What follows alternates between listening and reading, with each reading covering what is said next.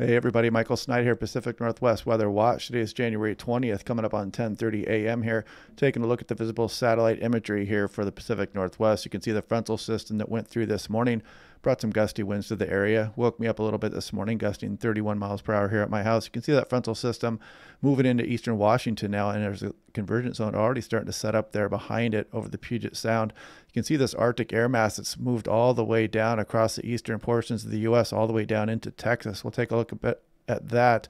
And then we're going to look at some of what's going on through the Pacific Northwest. Lots going on in eastern Washington, Idaho, and Montana, including eastern Oregon.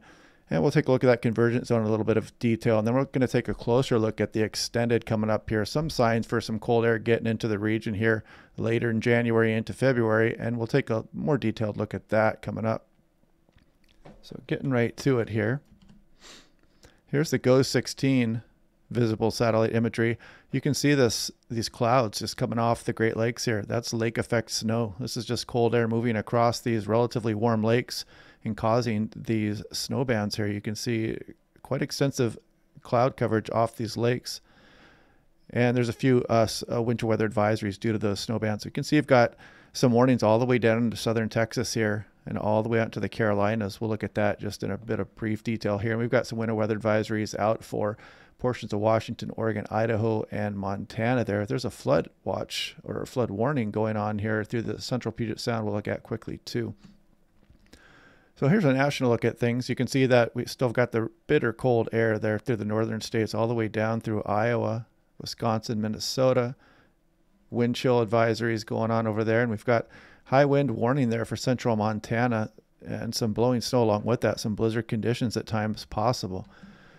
So taking a look at the national radar, you can see that frontal system. It's starting to swing through eastern Washington now into Idaho and western Montana. You can see that convergence zone setting up over the Puget Sound as we speak. Some precip getting down into the Cascades of Oregon as well. Looking down into Southern California, some Santa Ana winds coming down there. And this is expected mainly Friday night into Saturday, potentially damaging winds. If you've ever been down there for the Santa Anas, they're very dry offshore wind that – is coming off the higher terrain and compresses and gets really warm and dry. The uh, relative humidity can drop to below 5%. It gets a pretty amazing phenomena that goes on down there. And what exactly causes that? Let's back up here a little bit on this. You can see this high pressure kind of moved down over the Great Basin here. Notice this high here and these tight gradients there near the Sierras and this relatively low uh, pressure here off the coast. And that air just flows over the higher terrain down into Southern California and brings those Santa Ana winds. So that's what's going on down there. And Las Vegas also has wind advisory up. Check that out. North wind 50 miles per hour possible, blowing dust, strong crosswinds, blowing debris.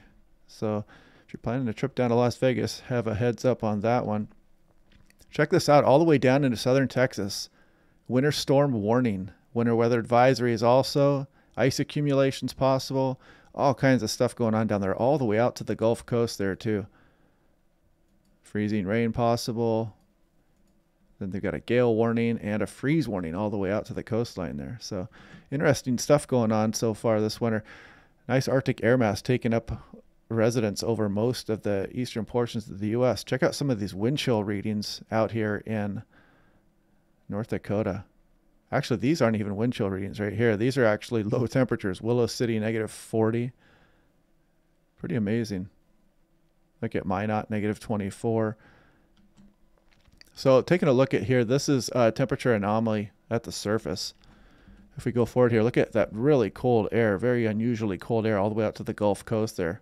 And this Arctic high is just pushed all the way down towards the East Coast go into the future a little bit here and you'll see another little bit of shot of cold air coming down towards the Great Lakes. This is on into Sunday morning and that pushes out over the northeast eventually here. And we'll take a look at our extended here in the Pacific Northwest coming up. This is at 5,000 feet here. You see that cold air just pushing off towards the east coast and that next lobe of cold air swinging out off the northeast there. And you can see how we remain warm. Look at this ridge of high pressure just building out over us. This is the ridge we have to go through before we have any chance of a change in our pattern here late into January, early February. We'll take a look at that one coming up. But here's what happened this morning. Here's the frontal system moving through, and you can see that was depicted pretty well here on the M3KM as the system moves into eastern Washington, residual snowfall going on over the Cascades. Then you see the convergence zone set up here, and this is going to bring some um, pretty good snowfall amounts between Stevens and Snoqualmie Pass this afternoon, and potentially a lightning strike somewhere through the central Puget Sound here. Look at this convergence zone still going right over downtown towards Boeing Field right now. And you can see these westerly winds starting to go into eastern Washington here, gusts over 50 miles per hour possible with some of that activity through the gaps. And you'll see how that convergence zone just kind of hangs out over the central Cascades. We'll look at some of those snow totals coming up here in a second too. And here is the wind. Here's that convergence zone signature. You see the winds coming down the Strait here and wrapping around the Olympics from the south side and the relative lull over the convergence zone of the Puget Sound as that moves through. Look at some of these high winds coming through the gorge, coming through the passes there and the Cascades into eastern Washington. So heads up there for traveling eastbound on I 90, or if you're traveling through the gorge, I 84 today. Look at some of these winds out here on the east slopes of the Rockies through Montana there. I guess they're calling for gusts up to 70 miles per hour out there with blowing snow. And with that convergence zone, you'll see there is a classic signature here. You can see we've got CAPE going on here, and it doesn't take much CAPE to get a lightning strike in the convergence zone somewhere. Um, I don't know if there'll be any small hail. It's always possible with a thunderstorm, but the big story of this is the snow it's going to drop in the Cascades, mainly Stevens Pass towards Snoqualmie Pass, and the outside chance of a lightning strike through the Central Sound are the big uh, stories there for the convergence zone today. Here's some snowfall totals coming up with this event. You can see most of it is confined to the higher terrain. And the danger with a lot this front mainly is valleys, mainly northeast Washington, Pendleton area. The, the valleys where cold air is trapped could get some freezing rain. Looks like that threat is being reduced a bit through central Washington, but if you you know, if you see ice accumulation, that's what it is. You've got cold air trapped in your region. It's hard to pinpoint exactly where this is going to happen, but that's usually a sheltered valley. And this can happen all the way through Idaho into western Montana as well. And you can see these snowfall totals building up, especially near Stevens Pass here, like uh, upwards of six inches in some cases. Snoqualmie Pass more towards the four inch mark. Here is that flood watch we have going on here. We had some pretty good rainfall with that system that came through last night, heading on into this morning. And you can see it's just a, a, standard excess runoff may result in flooding of rivers, creeks, streams, or other low-lying flood-prone areas. And this is mainly for west central Washington, King County. And this is for the Tolt and Snoqualmie rivers.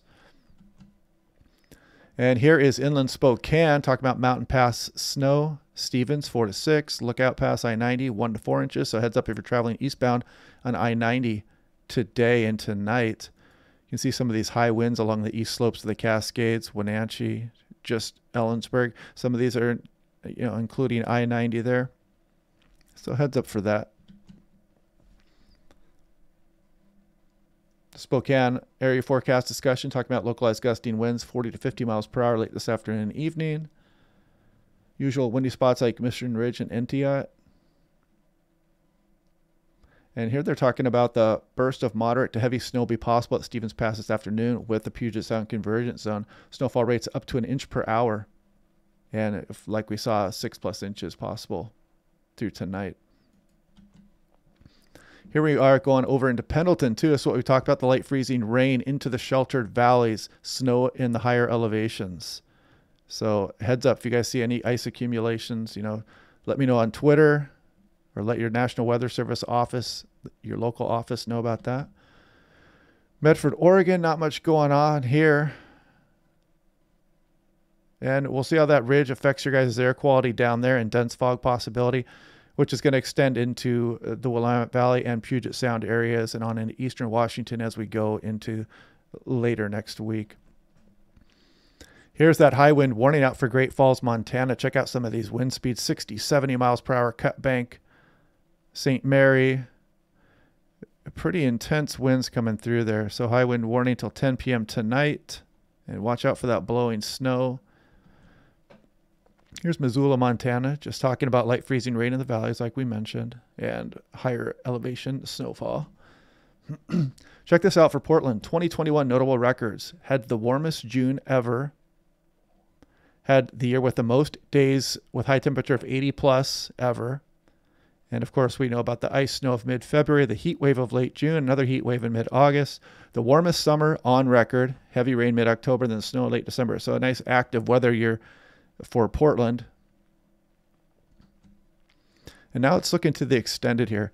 Here is the ridge coming up. So you can see we're kind of going through this trough here, this last system moving through here today and tonight. And as that moves off, you see the ridge just build up over us here and the resultant troughing off to the east. And as we put that to motion here, you see the ridge is pretty persistent. Here we are into the 25th. Still ridging. Then you notice it flattens out a bit here. This is uh, the 28th. Looks like a system's probably going to move through on the 28th or the 29th, bringing some rainfall to the Pacific Northwest. We'll be able to look at the details on that system as it gets closer. And then look at this on into late January. Notice we start to get the troughing here. So this opens the door for some potential cooler weather to move into the region here. Uh, details are still unclear, but the, the pattern is still showing a shift here, as you can see, towards late January into February. And as we go on here, this is temperature at 18,000 feet. So this is currently, actually, this is not current. Let's back up. This is the system moving through now. So this cold air is kind of associated with this upper level little reflection of the polar vortex as it moves through. And then you notice this cold air just kind of get cut off. These cutoff lows are kind of fascinating. Look at this cold air get cut off and just kind of hang out down there just like it's lost. The jet stream has left it behind. And then it eventually gets reabsorbed by this next lobe of cold air there in the jet stream.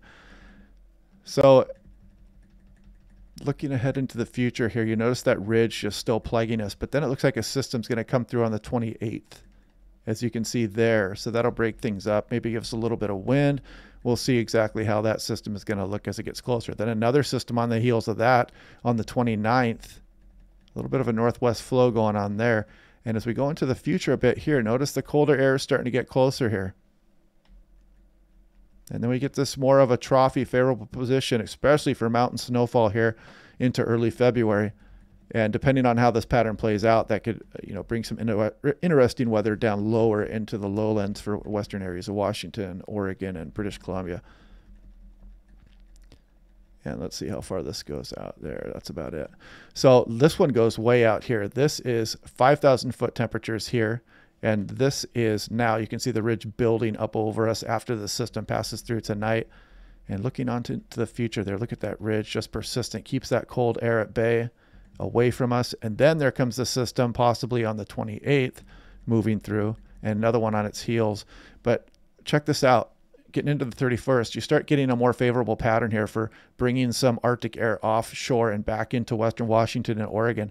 And that's much more favorable for uh, snowfall potential in the lowland, definitely the mountains. Without it goes without saying. And then you can see off into the future even more. You can see that cold air is getting close to us out there, but then a big system comes out here, almost like an atmospheric river type deal going on here into the future. So that this ridge will last for, you know, a few days and then we're going to get back into an active pattern probably as you can see there with some bigger systems developing out in the Gulf of Alaska there into mid February, according to the CFS here. But this is getting way out into fantasy land here. So hope you guys enjoyed that little front tonight. Cleared out the air a little bit in the western portions of western Washington and Oregon. And this is going to be our last precipitation for a while, probably until January 28th. So be aware of that. And hopefully we'll get a return back to the, the more normal pattern and hopefully the fog won't set in too bad the dense fog hopefully won't uh, you know get entrenched into the Puget Sound and Willamette Valley so I will do another briefing tomorrow. We'll take a look at that ridge and another look at the extended and try to figure out what exactly is going to go on to the extended. We'll take a look at the European model tomorrow in more detail. So, hope you guys are having a good day, and I'll talk to you guys later. Thanks.